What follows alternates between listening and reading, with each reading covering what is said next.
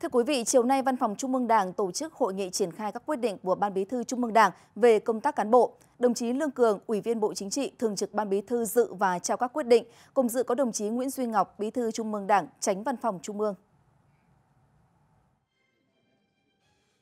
Ban Bí thư quyết định bổ nhiệm Trung tướng Tô Ân Sô, trợ lý Ủy viên Bộ Chính trị, Bộ trưởng Bộ Công an giữ chức vụ trợ lý Tổng Bí thư Chủ tịch nước Tô Lâm và phụ trách Văn phòng Tổng Bí thư.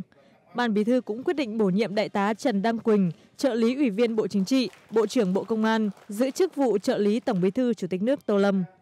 Chúc mừng và giao nhiệm vụ, Thường trực Ban Bí thư Lương Cường nêu rõ, đây là sự ghi nhận đánh giá cao của Đảng, Nhà nước, trực tiếp là cấp ủy các cấp của Đảng ủy Công an Trung ương, Văn phòng Trung ương đối với những nỗ lực cố gắng trong quá trình công tác của các đồng chí được bổ nhiệm. Nhấn mạnh nhiệm vụ mới là vinh dự to lớn, đồng thời cũng đặt ra trách nhiệm rất nặng nề. Thường trực Ban Bí thư Lương Cường bày tỏ tin tưởng ở cương vị mới, các đồng chí sẽ không ngừng nỗ lực phấn đấu, rèn luyện, tiếp tục phát huy những ưu điểm kinh nghiệm công tác, hoàn thành tốt các nhiệm vụ được giao. Cùng với đó, các đồng chí tiếp tục tăng cường trách nhiệm nêu gương, phát huy tinh thần đoàn kết, phối hợp công việc chặt chẽ, nhịp nhàng, hiệu quả với các cơ quan đơn vị trực thuộc Văn phòng Trung ương Đảng, góp phần hoàn thành tốt nhiệm vụ chung. Cũng tại hội nghị, Tránh Văn phòng Trung ương Đảng Nguyễn Duy Ngọc đã trao quyết định của Tránh Văn phòng Trung ương Đảng bổ nhiệm Thiếu tá Đinh Tiến Hải, Phó Cục trưởng, Thư ký Ủy viên Bộ Chính trị, Bộ trưởng Bộ Công an giữ chức Thư ký Tổng bí thư Chủ tịch nước Tô Lâm.